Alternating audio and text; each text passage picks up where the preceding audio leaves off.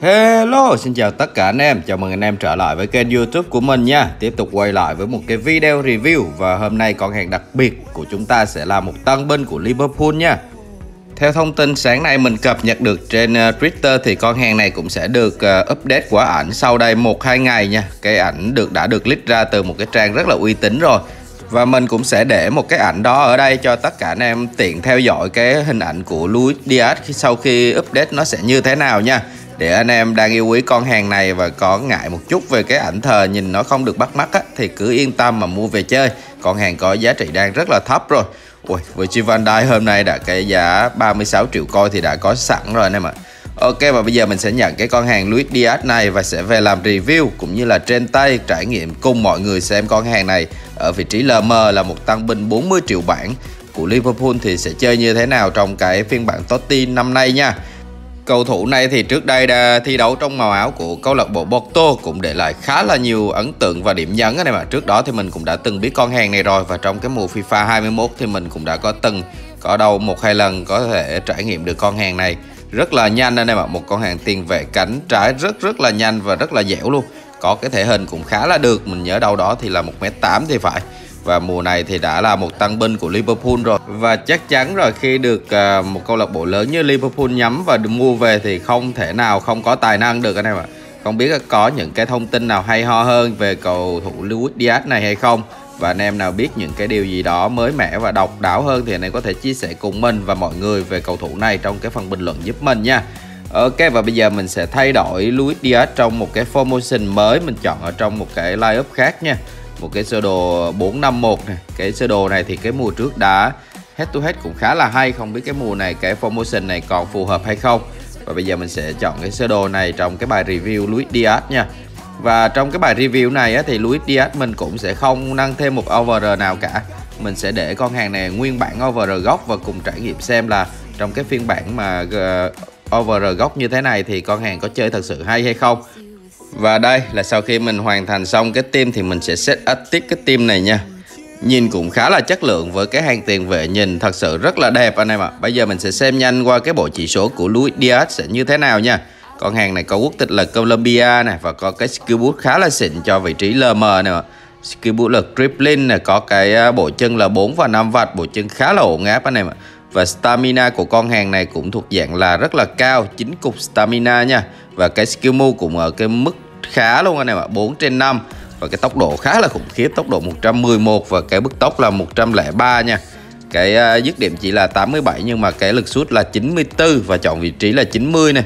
Cái long shot của con hàng được uh, bút khá là cao là 97 Roxin là tạt bóng được 100 nè Grippling là 110 và cái agility là 103 nha. Cái bộ chỉ số như thế này dành cho một con hàng over 89 thì thật sự anh em phải cảm nhận là nó rất là khủng khiếp nha. Bộ chỉ số rất là cao và rất là ổn định, đều tất cả các chỉ số luôn. Cái thể hình của con hàng là 1m8 này và nặng 73 cân. Cái quật rate là hai và medium nha. Cái cái skill move của con hàng là xoay người nè và có hai cái skill ẩn. Nhìn chung tất cả mọi thứ đều rất là tuyệt vời cho cái vị trí LM và over 89 lần này của Luis Diaz anh em ạ. Một con hàng theo mình thấy thì có thể cạnh tranh được vị trí với cả Son Hong Min. Vì theo cá nhân mình đánh giá cái skill boost dribbling như thế này thì rất là đẹp, rất là tuyệt vời và bút rất là tốt cho cái vị trí LM anh em ạ.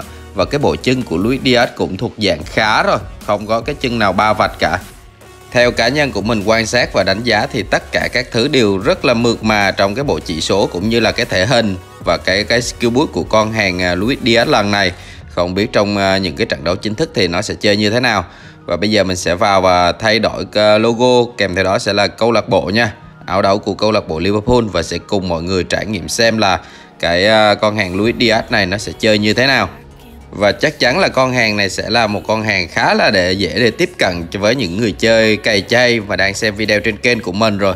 Cái giá cực kỳ thấp luôn, cái giá chỉ là một triệu 8 coi thôi và cái over 89 anh em mua về chỉ cần nâng thêm móc over 90 hoặc là 91 gì đó thì đã là có một con hàng ở vị trí LM khá là tuyệt vời rồi. Và sau đây một ngày hoặc hai ngày gì đó thì cái hình ảnh được cập nhật thêm nữa. Đó là một cái lợi thế lớn cho anh em có thể sở hữu được một tăng binh của Liverpool nha. Ok và bây giờ mình sẽ vào cái trận đấu đầu tiên trong cái bài review của Luis Diaz. Đối thủ lần này của mình đến từ Bayern Munich nha. Uầy, quả sân thì thật sự hết nước chấm rồi. Quả sân không còn gì để phàn nàn và bàn cãi nữa. Rất là đẹp và rất dễ để có thể nhìn rõ được những cầu thủ, Quan sát rõ những cái pha tấn công và những cái pha kiểm soát bóng cũng như những đường truyền luôn. Rất là rõ ràng anh em Quả sân điểm 10 thật sự. Đây là pha bóng đầu tiên của Michael Owen Bóng lại đến chân của Luis Diaz rồi. Ui, không được rồi. Một pha xử lý hơi cứng tay của mình. Trong pha chạm bóng thứ hai của Luis Diaz, Jorginho. Và chắc chắn là những cái bài review về cầu thủ như thế này thì mình sẽ cố gắng đưa bóng nhiều nhất có thể khi có cơ hội cho cái con hàng đó có thể trình diễn được cái khả năng của con hàng như thế nào nha. Và đá phạt của Mason Mount. Chắc chắn rồi anh bạn này khá là chậm trong cái việc kéo một cầu thủ về đứng bịch vào cái lỗ hỏng trong cái pha phạt à, cố định như thế này. Chắc là anh bạn cũng chưa có kinh nghiệm về cái pha bóng này anh em những tình huống cái mùa này là những cái quả đá phạt hàng rào như thế này thì anh em bắt buộc phải xử lý cực kỳ nhanh nha. Xử lý cực kỳ nhanh khi bị phạm lỗi như thế này thì anh em phải kéo một cái con hàng về trám vào cái vị trí lỗ hỏng đó thì cái ờ, cơ hội để nhận bàn thua sẽ hạn chế đi rất là nhiều đâu đó phải 80% luôn anh em ạ và những người chơi kiểu như phán đoán được tình huống thì khi sự khi gặp những cái uh, cơ hội đá phạt hàng rào như vậy á, thì người ta sẽ đá ngay lập tức anh em ạ phải kiểu như là xử lý ngay lập tức để có thể đoạt được cái cơ hội làm bàn trong cái tình huống bóng đó nha Ui, một cú sút phạt khá là hẹp ở cái góc như thế này thì rất là khó để có thể ghi được bàn thắng rồi. Đã có một bàn mở tỷ số khá là sớm của Mason Mount. Bây giờ là thời gian để mình có thể trải nghiệm được Luis Diaz nó sẽ di chuyển và tấn công như thế nào. Alexander Arnold. Cái thể hình của Luis Diaz trong trận thì nhìn khá là đẹp anh em ạ. Thể hình 1m8 thì nhìn rất rất là vừa vặn cho một con hàng cầu thủ ở tất cả các vị trí hàng tấn công phía trên luôn, rất là đẹp mắt. Alexander Arnold Jadon Sancho và bóng lại đến chân của Michael Owen rồi cú sút ui lại không chiến thắng được Donnarumma rồi khoảng trống cực kỳ lớn trong cái cơ hội của Michael Owen luôn nhưng mà cú sút hơi xa một chút thì phải. Alaba đã có một pha không chiến thành công rồi. Jadon Sancho. Ui Luis Diaz vẫn chưa kịp dâng lên trong cái tình huống có bóng của Michael Owen này mình cố gắng cầm bóng để đợi cái ờ, tốc độ của Luis Diaz dâng lên nhưng mà vẫn chưa thấy. Tiếp tục là Caleb Bujon và đây là Jack Bellingham. Jadon Sancho. Mason Mount. Ui, khá là đông những cái cầu thủ theo kèm Mason Mount trong tình huống bóng đỏ. Jadon Sancho. Đây là Jack Grealish không vượt qua được. Jorginho đã lui về phòng ngự rất là sâu nữa. Đây là Jude Bellingham. Ui, trong cái sơ đồ này mình cảm giác như Luis Diaz không dâng lên cao quá nữa. Đây là Mason Mount, Luis Diaz. Ui, đúng lúc này thì trọng tài lại thổi còi kết thúc cái hiệp 1 của trận đấu rồi. Mình thấy thể lực của Luis Diaz cũng đã đi xuống rất là nhanh nữa đã đỏ hết cây rồi dù cho cái stamina là cái à, chính cục luôn á. Chính cục là thể hiện được cái sức mạnh khá là cao nhưng mà không hiểu sao chạy một đoạn thì cái hết cái hiệp một thì thể lực của Luis Diaz đã xuống cái mức thấp nhất có thể rồi. Đây trước mặt đang là Luis Diaz cái thể hình cái ngoại hình của Luis Diaz à, được làm rất là giống luôn anh em rất là giống cầu thủ đang thi đấu ngoài đời. Một cái thể hình rất là tuyệt vời với cái mini face nhìn thật sự rất là chắc chắn. Đây là pha phản công. Không được rồi Alaba vẫn đang làm rất là tốt cái nhiệm vụ của mình đến uh, khi mình đang edit cái video này á, thì đến sáng ngày mai là có hai cái cập nhật rất là lớn để anh em có thể chơi trong cái FIFA Mobile 22 luôn anh em ạ. Đó là cái phần Totti Defense nó sẽ xuất hiện nè và kèm theo đó sẽ là cái uh, event mới là Cannibal nó cũng sẽ xuất hiện trong cái sáng ngày mai là ngày 18 tháng 2 nha. Đó mà là đó là một điều rất là tuyệt vời để cho tất cả anh em chúng ta cùng hóng cái sự kiện nó xuất hiện như thế nào. Và kèm theo đó là có cả thêm cái team of the week cái tuần này nữa nữa và mình thấy đâu đó có cả sự xuất hiện của Raheem Sterling nữa. Rất là đáng chờ đợi luôn. Anh em mình sẽ cùng chờ đợi vào sáng ngày mai nó sẽ như thế nào nha. Còn bây giờ thì mình trở lại với cái trận đấu review Luis Diaz thôi. Xem con hàng nó sẽ thể hiện tiếp theo sẽ như thế nào. Jadon Sancho phút thứ 70 của trận đấu rồi. Mason Mount Jorginho. Ui, Jorginho đã đúng kiểu một con hàng tiền vệ bao sân rồi nè từ phòng ngự cho tới hỗ trợ tấn công kiểm soát bóng và kiểm kiểm, kiểm soát lối chơi tất cả các thứ tất cả điểm nóng khi có bóng đều thấy với sự xuất hiện của Jorginho. Và đang đứng trước quả đá phạt lại là Jorginho và đứng trước mặt lại là Luis Diaz. Xem nào. Mình cố gắng để đưa bóng và phối hợp cùng Luis Diaz nhưng mà khá khó nè tỷ số vẫn đang là 1-0 thôi. Rất là mong manh. Đây là pha tấn công. Jorginho vẫn là người theo kèm trong pha bóng này. Robertson đã là người phán đoán tình huống được rồi. Jorginho thật sự quá là tuyệt vời trong cái uh, nhiệm vụ bao quát tiếng tiền vệ của mình nữa. Đây là Luis Diaz cơ hội đây rồi. Một pha đập nhẹ cùng Jude Bellingham. Phút thứ 85 của trận đấu rồi. Khá là khó. Con hàng ờ, CB lập rồi thì có tốc độ khá là tốt so với cái mặt bằng chung những con hậu vệ hiện tại rồi anh em ạ. Không vượt qua được nó cũng là điều rất là dễ hiểu. Jadon Sancho. Và đây là David Jonathan David bóng trội hết đường biên dọc rồi nè một pha bóng khá là mạnh của Jonathan David truyền cho Jadon Sancho. Quay đã có một pha phạm lỗi. Và đây là à, nhân vật chính của chúng ta nè ạ Luis Diaz, một cầu thủ của Colombia đến từ Nam Mỹ, có một cái thể hình từ cái khuôn mặt nè và cái thể hình cao 1m8 và cả cái chùm râu bên dưới nữa. Thật sự, đây lại là Luis Diaz xuất hiện. Thật sự, với cá nhân mình đánh giá về cái mặt hình ảnh này tất cả các thứ về phần nhìn á thì FIFA Mobile làm đỉnh thật sự nè làm rất là đẹp luôn và trận đấu đầu tiên bài review Luis Diaz cũng đã kết thúc với tỷ số 1-0 nha với bàn thắng duy nhất đến từ vị trí của Mason Mount thôi về phần cá nhân của Luis Diaz thì có một trận đấu rất là cố gắng anh em ạ, di chuyển rất là nhiều luôn với những pha tranh chấp rất là quyết liệt những cái pha bóng phạm lỗi cuối trận anh em có có thể thấy. Trong cái mốc over 89 mà mình cảm nhận con hàng di chuyển như vậy là một con hàng khá là được rồi anh em ạ. Con hàng này sẽ phù hợp và mạnh hơn khi anh em up lên cái over 93 hoặc là 95 nha, sẽ là một con hàng rất là đặc biệt trong cái vị trí LM của mình. Ok và bây giờ mình sẽ tiếp tục trở lại luôn với cái trận đấu thứ hai nha. Trận này thì gặp một bạn của fan Manchester City. Nhưng mà đáng tiếc là anh bạn không sử dụng được cái áo của Manchester City rồi. Đang sử dụng bộ áo đấu của FIFA Mobile. Và đây là pha kiểm soát bóng đầu tiên của mình. Joe Bellingham, Luis Diaz. Đây rồi, bóng lại đến chân của vị trí của Luis Diaz rồi Cái khả năng cầm bóng của Luis Diaz cũng khá là được anh em Với cái thể hình 1m8 và cái eh, skill dribbling đang là 110 luôn thì khá là khủng cho cái khả năng cầm bóng của con hàng này đây anh em có thể thấy khả năng cầm bóng và phối hợp cùng đồng đội rất là nhuyễn luôn. Michael Owen chắc chắn rồi khoảng trống trước mặt như thế này thì không thể nào không có bàn thắng được cho vị trí của Michael Owen. Quá là đẹp luôn anh em ạ. Michael Owen mặc màu áo đỏ của Liverpool. Đúng kiểu phù hợp hết nước chấm luôn anh em ạ.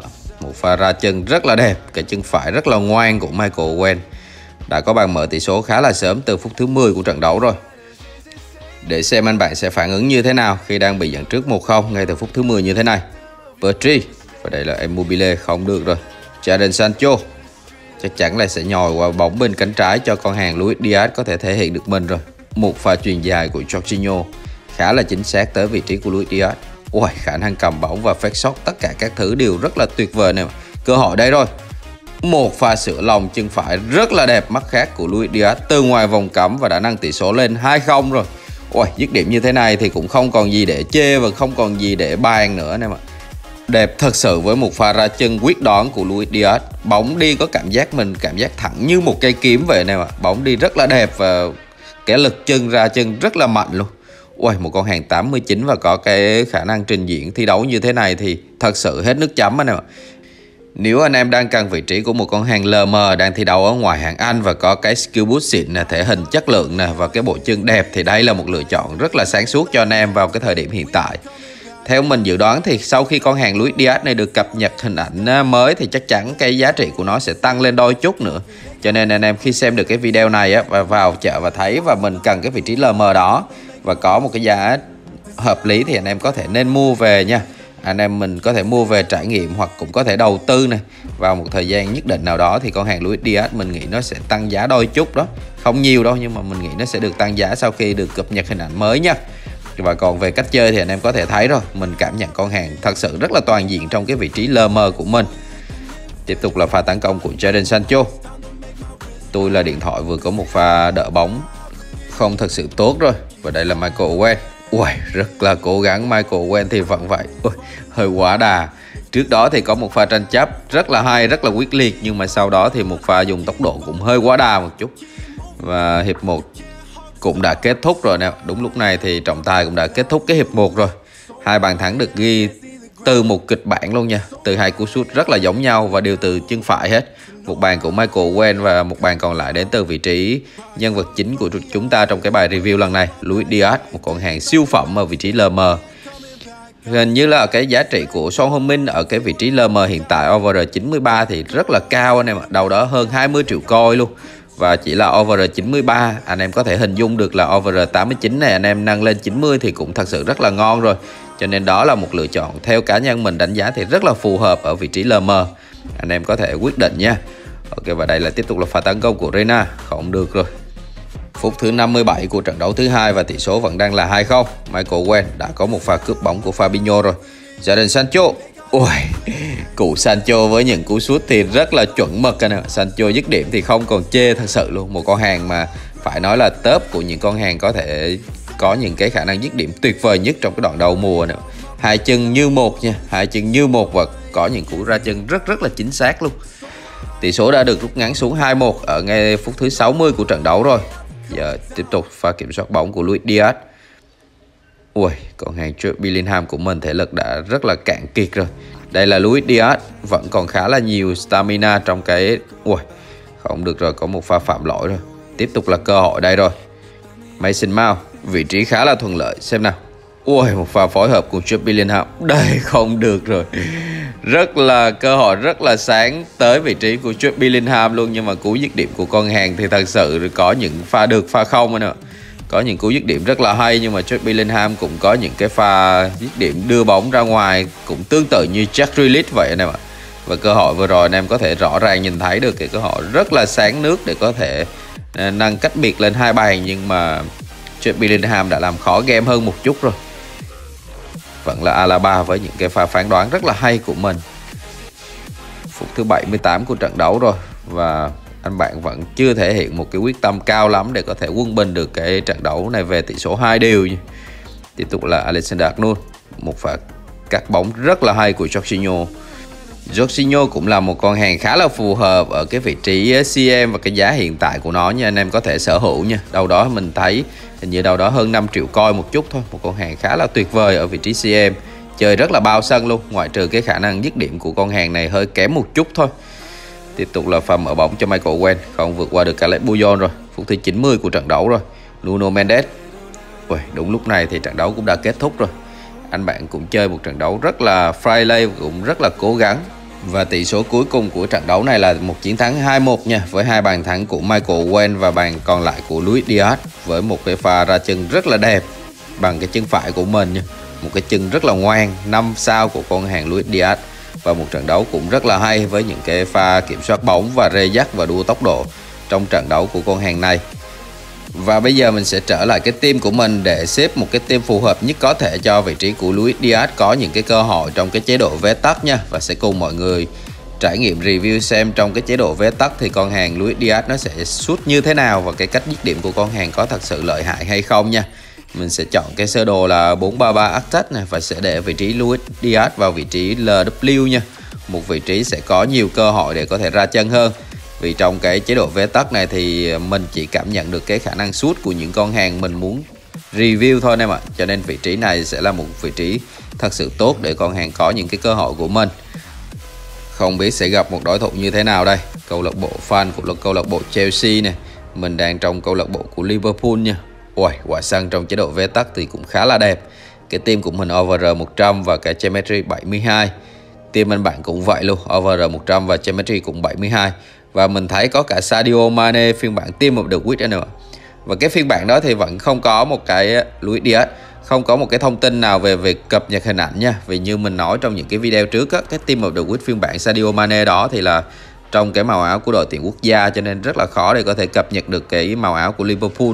Điều khá là đáng tiếc anh em ạ. Sadio Mane là một con hàng thật sự luôn với cá nhân mình mình thật sự rất là thích Sadio Mane trong vị trí LW luôn nhưng mà do cái hình ảnh không được đẹp mắt cho lắm mình chơi cái game này một phần là vì cái chất lượng mà một phần là vì cái hình ảnh nữa anh em ạ mình phải chọn những con hàng có những hình ảnh nhìn bắt mắt một chút nha nó đẹp một chút thì mình sẽ dùng tiếp tục là Luis Diaz với pha mừng khá là đơn giản anh em khả năng dứt điểm của Luis Diaz trong cái chế độ vé tắt thì khá là khủng luôn anh em ạ từ đầu trận tới giờ có những cơ hội thì mình chưa thấy cái pha nào bỏ lỡ của Luis Diaz cả.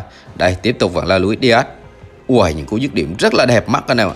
Và cái thể hình này thật sự rất là phù hợp trong cái chế độ vết tắt như thế này luôn.